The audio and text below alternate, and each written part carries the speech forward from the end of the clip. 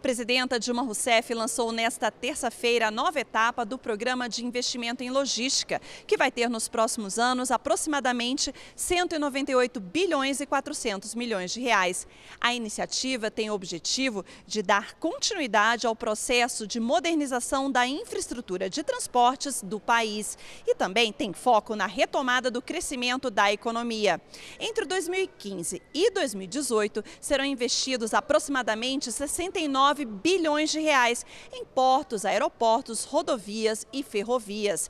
Outros 129 bilhões e 200 milhões de reais serão investidos a partir de 2019.